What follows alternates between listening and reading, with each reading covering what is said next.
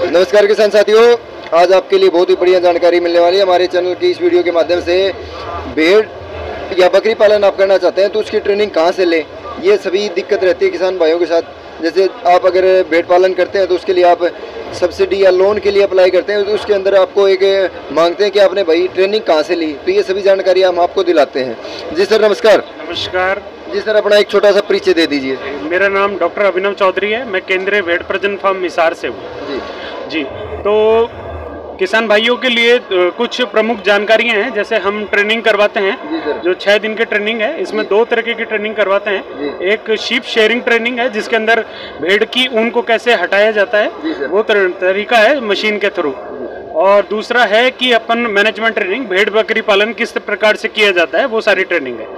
इसमें तो सर जो आपके मतलब किसान आपसे संपर्क कर रहे हैं जैसे पहले किसान ने बकरी पालन या भेड़ पालन कर रखा है वो भी कर सकता है या फिर जो शुरुआत करना चाहता है वो भी कर सकता है? सभी प्रकार के किसान कर सकते हैं जो किसान भाइयों ने जिन्होंने जानवर रख रखे हैं और जो नया स्टार्टअप करना चाहते हैं उनके लिए भी। क्योंकि दोनों चीज़ें हैं क्योंकि जिन्होंने भेड़ बकरी पालन रख रखे हैं उनमें जो प्रॉब्लम्स आती हैं सारी जो बीमारियाँ हैं उन सब सभी का समाधान टीकाकरण सब चीज़ बताया जाता है। और जो नया चालू करने वाले हैं उनके लिए भी सारा कि कितने ज़मीन के अंदर कितना जानवर रखना चाहिए क्या क्या बीमारियाँ आएँगी सभी प्रकार की जानकारियाँ दी जाती हैं। कितने दिन की रहेगी ट्रेनिंग सर ये? ट्रेनिंग छः दिन का ट्रेनिंग है जिसके अंदर अ, किसी भी प्रकार का कोई फ़ीस नहीं लिया जाता बस आपको खाने का जो पेमेंट है वो थोड़ा बहुत देना पड़ता है। तो किसान भाइयों ये जानकारी आपके लिए बहुत ही फ़ायदेमंद है कि किसी प्रकार सर ने बताया कि किसी प्रकार की फ़ीस आपसे नहीं ली जाएगी।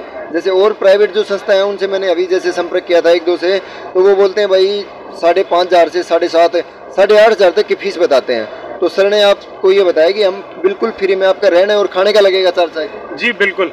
खाने का लगेगा, रहने का भी कोई चार्ज नहीं है। जी, खाने खाने का आपको चार्ज लगेगा और आपको पूरी जानकारी दी।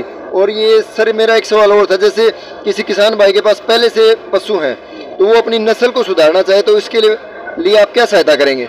जी जो किसान भाई हैं जिनके पास ऑलरेडी एक नस्ल है तो हमारे पास हरियाणा के हिसाब से बहुत ही अच्छी नस्ल है जिसमें बकरी में हमारे पास बीटल है और भेड़ के अंदर हमारे पास दो क्रॉस ब्रीड हैं N R S X Sonadi और कोरिडेल और नाली और रेम्बुलेट।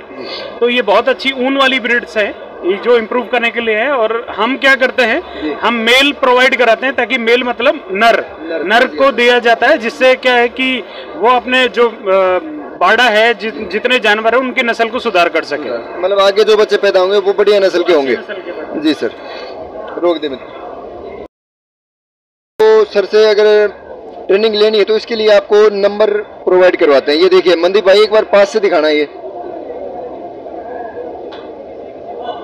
एक ये सर ये बताइए जैसे इन नंबर पे कॉल करता है तो इसके लिए पहले से आप रजिस्ट्रेशन कराना होगा या फिर मतलब पहले दिन करवाएँ अगले दिन आ सकते हैं? ये थोड़ी ये है कि आप हमें कॉल कीजिए। कॉल करने के बाद हम अपना का नाम वगैरह सारा चीज़ नंबर नोट कर लेते हैं। उसके बाद जब ट्रेनिंग होगी जब फ़ोन नंबर के थ्रू आपको कॉल करके तीन तीन से पाँच दिन पहले फ़ोन करके आपको बता दिया जाएगा कि ट्रेनिंग चालू होने वाली है। ठीक है सर धन्यवाद सर जी।